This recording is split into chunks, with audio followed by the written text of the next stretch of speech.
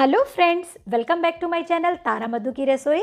दोस्तों, आज मैं आप सभी के साथ किसी रेसिपी का वीडियो नहीं, बल्कि बेकिंग और कुकिंग में इस्तेमाल होने वाले साइट्रिक एसिड टार्टरिक एसिड और क्रीम ऑफ़ टार्टर को लेकर के एक वीडियो शेयर कर रही हूँ। आज मैं आपको बताऊँगी कि ये तीनों चीज़ें क्या होती हैं, कैसी दिखती हैं, क्या काम करती हैं, क्या इनके केमिकल फार्मूला है और इन्हें हम अपनी कुकिंग और बेकिंग में कैसे यूज़ कर सकते हैं। साथ ही ये भी बताऊँगी कि ये कहाँ मिलेंगी, कितने की मिलेंगी और अगर ये ना भी मिले तो इनके क्या सब्सटीट्यूट्स हैं? तो बहुत ही यूज़फुल और जानकारी से भरा मेरा ये वीडियो है, क्योंकि अक्सर लोग इन तीनों चीज़ों को लेकर के कंफ्यूज रहते हैं। तो आज इस वीडियो के थ्रू आपके सारे डाउट्स दूर हो जाएँगे और आप भी इन तीनों चीज़ों को अच्छे से जान करके इनका भरपूर फ़ायदा उठा पाएँगे। तो वीडियो को एंड तक देखेगा पसंद आए यूज़फुल लगे तो इसे लाइक शेयर करना बिल्कुल भी मत भूलिएगा और साथ ही मेरे चैनल को ज़रूर सब्सक्राइब कीजिएगा। आइए स्टार्ट करते हैं। तो सबसे पहले शुरुआत करते हैं साइट्रिक एसिड से, जिसको नींबू का फूल या फिर नींबू का सत भी कहा जाता है। इसे खट्टे फलों जैसे कि नींबू और संतरा से निकाला जाता है। ये एक तरीके का वीक यानी कि कमज़ोर एसिड है और इसीलिए ये एक बहुत ही अच्छा एंटीऑक्सीडेंट है। इसका रासायनिक यानी कि chemical formula C six H eight और ओ सेवन है। अब आप सोचेंगे, ये जानकारी हमारे किस काम की? तो फ्रेंड्स, अब मैं आपको बताती हूँ कि ये साइट्रिक एसिड दिखता कैसा है, इसका टेक्सचर कैसे होता है। ये एक तरीके का छोटे छोटे चीनी के दानों जैसा पदार्थ होता है, आप देख सकते हैं स्क्रीन पर। बहुत ही छोटे छोटे चीनी से भी बारीक इसमें दाने होते हैं और ये खाने में बहुत ही ज़्यादा खट्टा होता है, इसलिए इसकी बहुत ही कम क्वांटिटी इस्तेमाल की जाती है। मार्केट से अगर आप कोई खाने का पैकेट खरीदते हैं और उसके ऊपर ई थ्री थर्टी लिखा है तो आप समझ जाइएगा, उसके अंदर साइट्रिक एसिड है। साइट्रिक एसिड एक तरीके का बहुत ही अच्छा स्टेबलाइज़र है, ये चीज़ों की शेल्फ लाइफ को बढ़ा देता है। अक्सर आपने घर में देखा होगा कि हम लोग ढोकला बनाने में, इडली बनाने में, या फिर टमाटर की चटनी, या फिर प्योरी, या जैम बनाने में साइट्रिक एसिड का इस्तेमाल करते हैं। इसको डालने से हमारी चीज़ें अच्छी बनती हैं, काफ़ी दिनों तक उसकी शेल्फ लाइफ हो जाती है, और साथ ही खाने में भी बहुत ही अच्छा टेस्ट आ जाता है।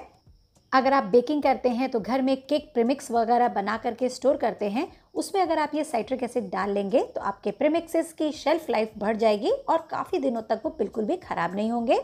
इसी तरीके से बेकिंग में यूज़ होने वाले ग्लूकोज सिरप या फिर न्यूट्रल जेल को अगर आप घर में बनाते हैं तो उसमें जब चीनी की चाशनी बनाई जाती है, उसमें अगर आप एक चुटकी इस साइट्रिक एसिड की डाल देंगे तो वो उसकी वापस से क्रिस्टलाइजेशन होने को रोक देगा, यानी कि चीनी को जमने से बचाता है।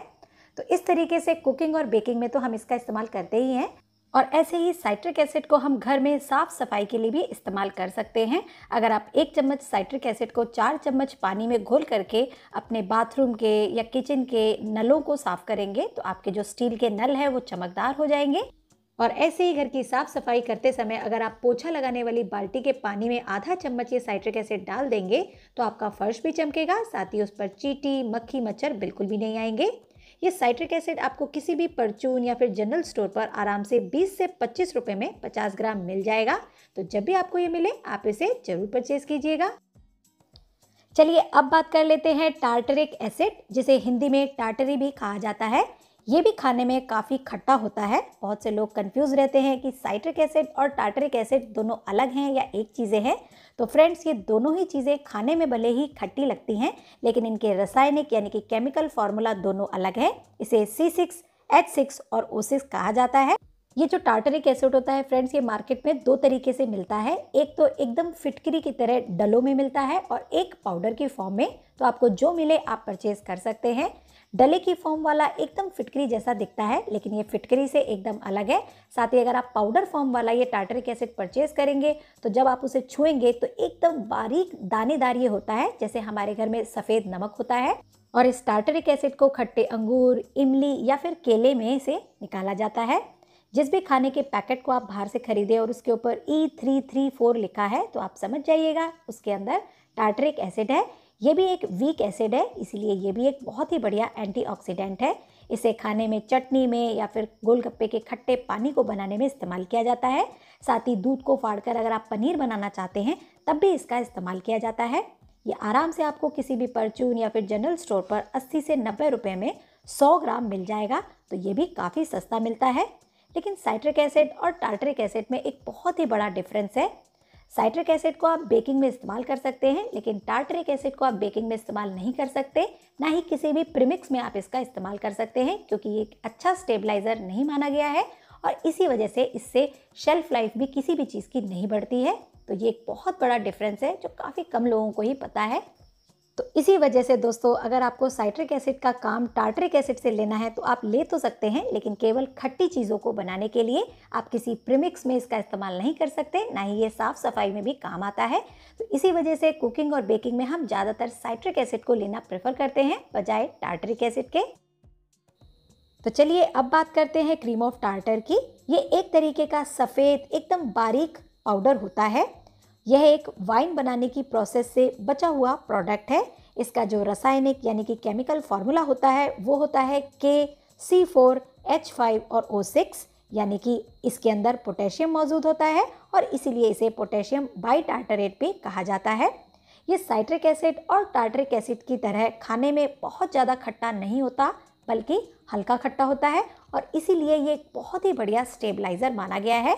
साइट्रिक एसिड से भी ज़्यादा अच्छा इसीलिए इसका इस्तेमाल बेकिंग में काफ़ी होता है। ये अच्छा स्टेबलाइज़र होता है, इसीलिए इसे काफ़ी तरीके से प्रीमिक्सेस में यूज़ किया जाता है। किसी भी चीज़ में अगर हम इसे यूज़ करते हैं तो काफ़ी समय तक ये उसको होल्ड करके रखता है, यानी कि उसी स्टेज में उसे लॉक कर देता है। मान लीजिए आप बेकिंग में क्रीम को विप कर रहे हैं और आप चाहते हैं कि आपकी क्रीम बिल्कुल स्टिफ पिक्स वाली वैसी ही बनी रहे, जैसी आपने बनाई है काम करने के दौरान भी वो मेल्ट ना हो तो बस उसके अंदर आप दो चुटकी क्रीम ऑफ़ टार्टर ऐड कर दीजिएगा। आपका काम बिल्कुल परफेक्ट होगा, आपकी क्रीम भी मेल्ट नहीं होगी और आपको बहुत ही बढ़िया रिज़ल्ट मिलेंगे। बेकिंग में ही अगर आप मैकरून्स मैरिंजेस बनाते हैं आलमंड फ्लावर को यूज़ करके एक्वा फवा के साथ तो आप जानते होंगे उसकी क्रीम को विप करना, उसको उसी स्टेज में रोकना कितना मुश्किल होता है।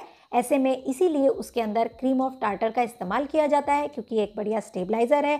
किसी भी चीज़ को उसी अवस्था में रोक करने के लिए ये एकदम सक्षम है। इसीलिए हम क्रीम ऑफ़ टार्टर को बेकिंग का किंग भी मानते हैं।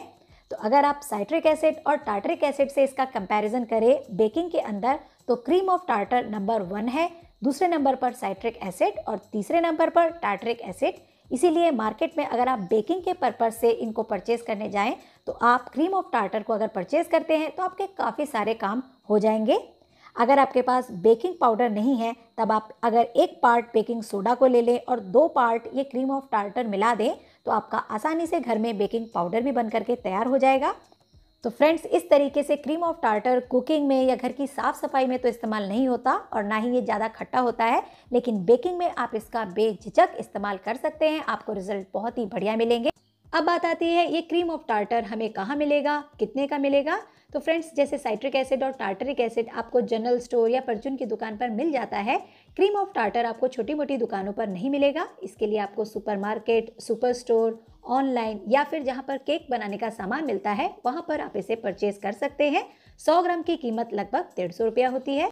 तो इस तरीके से फ्रेंड्स आई एम श्योर इस वीडियो से आज आपके सारे डाउट्स क्लियर हो गए होंगे। बहुत से लोगों को इन तीनों पाउडर्स में कन्फ्यूज़न रहता है कि क्या ये एक जैसे काम करते हैं अलग अलग काम करते हैं और अगर हमें ये नहीं मिल रहा तो क्या हम दूसरी चीज़ यूज़ कर लें? तो आप जान गए हैं बेकिंग में किसका इस्तेमाल किया जाता है और कुकिंग में किसका यहाँ पर एक ज़रूरी बात और आपके साथ शेयर करना चाहूँगी। अगर आप मेरे सब्सक्राइबर हैं, मेरे वीडियोस आप देखते रहते हैं तो आपने देखा होगा मैं विप्ड क्रीम को स्टेबलाइज करने के लिए साइट्रिक एसिड का इस्तेमाल करती हूँ। वो इसलिए क्योंकि साइट्रिक एसिड जनरली हर किसी को छोटी मोटी शॉप्स पे भी मिल जाता है। क्रीम ऑफ़ टार्टर अगर हम इस्तेमाल करके दिखाएँगे तो आपके लिए काफ़ी कठिनाई हो जाएगी। हो सकता है ये पाउडर आपको ना मिले। इसीलिए हम साइट्रिक एसिड का इस्तेमाल करते हैं। लेकिन अगर आपके पास क्रीम ऑफ़ टार्टर अवेलेबल है तो आप साइट्रिक एसिड की जगह क्रीम ऑफ़ टार्टर का इस्तेमाल कीजिए, आपको उससे भी ज़्यादा अच्छे रिज़ल्ट मिलेंगे। तो आई एम श्योर आज आपके सारे डाउट्स इन तीनों पाउडर्स को लेकर के क्लियर हो गए होंगे।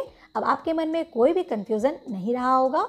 लेकिन फिर भी कोई डाउट अब भी रह गया हो तो आप मुझे कमेंट सेक्शन में लिख करके पूछ सकते हैं। आज का वीडियो आपको कैसा लगा, कितना यूज़फुल लगा, कितना हेल्पफुल लगा, ज़रूर बताइएगा। पसंद आया हो तो इसे लाइक शेयर कीजिएगा और साथ ही मेरे चैनल को ज़रूर सब्सक्राइब कीजिएगा। अगर आप नए नए मेरे चैनल पर सब्सक्राइबर हैं तो साइड में दिया गया बेल आइकन दबाइएगा।